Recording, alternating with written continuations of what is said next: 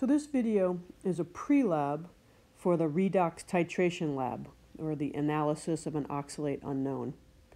You will be given an unknown compound that has the oxalate ion in it. That's the C2O42 minus. Your goal is to determine the identity of the unknown by determining its percent of oxalate. So here are your three unknowns. You'll get one of those three. We'll react the unknown with a standard solution of KMNO4 and then determine the percentage of oxalate. So a standard solution, we learned before, is a solution of known molarity. So when we say we're going to standardize a solution, we say we're going to figure out its molarity. So unfortunately, we have to first standardize the KMNO4. This means find its molarity. Uh, solutions of KMNO4 do not keep for very long. They tend to decompose, so we have to check the molarity when we want to use it. Um, this would be good for about two or three weeks, but our solutions haven't been used for a long time, so we're going to need to figure out their molarities. So the first part of this lab is to standardize the KMNO4 solution. We'll do this um, by reacting it with something that we nickname FAS.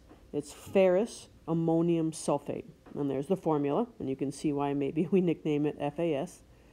Um, if you recall our unit with net ionic equations, you may recall that sometimes we only need to worry about the parts of the compounds that are actually reacting. Um, and that's going to be the case here. So in FAS, the only thing we actually care about is the Fe2 plus ion. And in KMNO4, the only thing we care about is the MNO4 minus. So the Fe2 plus is going to turn into Fe3 plus, 2 plus to 3 plus. The potassium, the permanganate is going to turn into Mn2 plus, and this will happen in acidic solution. So hopefully you also remember our unit on redox reactions. So this is a redox reaction that occurs in acidic solution. You're going to need to first balance this equation in acidic solution. You start by writing your half reactions and use that method we learned a couple months ago. So you may need to go back to your notes or ask for help. For the actual lab part, you're going to titrate your sample of FAS with a solution of KMNO4 in the presence of a small amount of sulfuric acid. So you're going to take about 0.2 grams of your FAS. It's kind of like this light green solid. And you're going to put it in your flask. You're going to add 1 to 2 milliliters of sulfuric acid and about 50 milliliters of water. It, just about. It makes no difference. It could be anywhere from like 25 to 75. So just some water. Okay. So that way your solution's ready to go. And then you're going to be given a burette. Okay. Now burette is, uh, we'll show you a burette. I think you've seen one. Um, we're going to need to fill our burette with our potassium permanganate solution. So a few things. Never pour over your head. Always remove the burette from the clamp before you fill it. KMNO4 will stain everything that you do brown permanently. Okay, anything it gets on clothes, they're gone. Um, you're going to pour your KMNO4 from the bottle to a small beaker into, into the burette. So don't be this guy. Okay, this guy is pouring a solution over his head. He's trying to pour it from a big, huge bottle into a burette, and he's about to get all of the things he wears stained brown.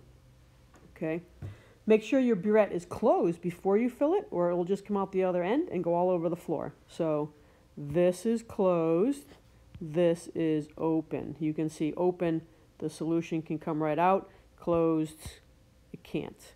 Okay. Once you fill your burette, we also have to fill this bottom part. So what you do is you put the beaker underneath and you open it and you fill it in and then you close it again. Okay, you got to remember to fill this bottom part. You also need to check to make sure when you fill it there aren't any air bubbles. If you've got some air bubbles, just try running some through it again or uh, call me over and I'll show you a quick trick to get rid of it. Okay, so some little things about filling your burette.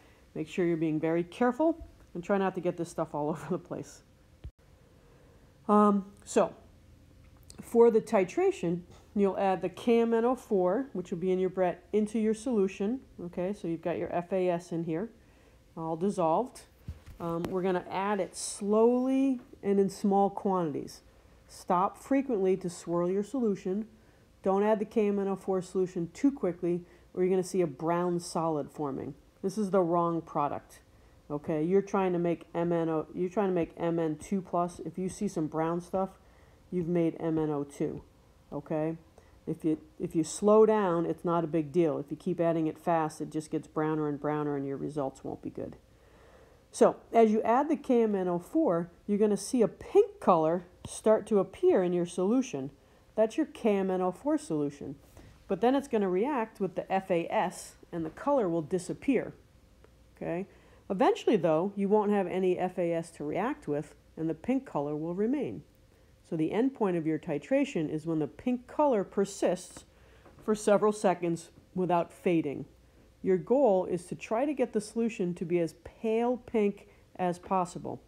This is not pale pink, that's bright pink. We're going to be looking for a pale, pale pink color. Okay? And you will do three trials. Okay? So you'll do three different trials. So um, as you make up a solution, one partner could be titrating, the other partner can be making up the other solution, and then trade off. Make sure this lab has a total of uh, six titrations. Make sure you each do three. Okay, so everybody's getting some practice. So calculation-wise, you're going to have measured out your grams of FAS, so that's recorded. We're going to change grams to moles. You'll have to go back and find the molar mass of that big long compound. Okay, and then you're going to go ahead and use your mole ratio here from that balanced equation that you wrote, okay, your balanced redox reaction. You're going to need your mole ratio. That's why we have to balance it, okay? And your moles of FAS are the same as your moles of Fe2+. plus. So you'll be able to relate the Fe2 plus to the permanganate in the reaction, okay? And then you're going to change moles to molarity. I'm going to let you figure out how to get from moles to molarity. That'll be your molarity of MnO4 minus, and that's the same as the molarity of KMnO4.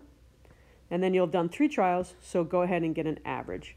So we'll have an average molarity of KMnO4, and we'll have standardized our reaction. Okay?